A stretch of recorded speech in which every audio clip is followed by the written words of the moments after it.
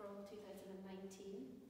It's double layer uh, painting. Um, it is acrylic and gouache on canvas, um, which has been cut into with my scalpel. Um, it is not only just um, double layered, but I think my cutting into even one single layer brings about a kind of objectivity and materiality to the canvas.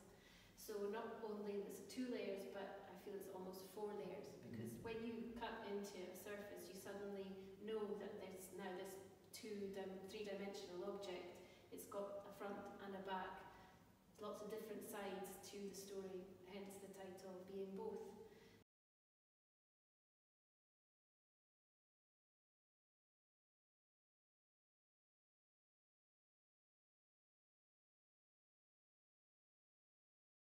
It's a lot to do about gesture, um, taking away my own expressionist, almost um, painterly um, uh, mark making.